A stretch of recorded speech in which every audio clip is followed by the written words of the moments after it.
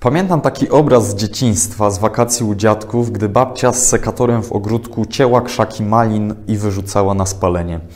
To był dla mnie obraz przejmujący, a nawet straszny, dlatego że y, to jedne z moich ulubionych letnich owoców i nagle kończyły życie.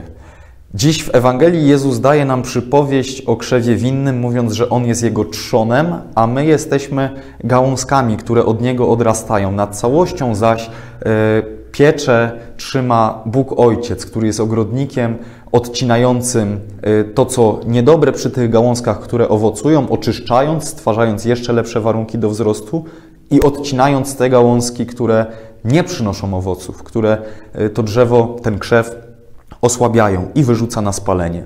No moi drodzy, ten obraz Jezusa jest bardzo konkretny i ktoś może powiedzieć, że wręcz taki zero-jedynkowy, ale myślę, że można na niego spojrzeć inaczej. Ja kiedy zrozumiałem cykl uprawy malin i wiedziałem, że potem będą następne, yy, że tak po prostu być musi, żeby były kolejne owoce, to już ten obraz przestał mnie przerażać i myślę, że w życiu duchowym jest podobnie.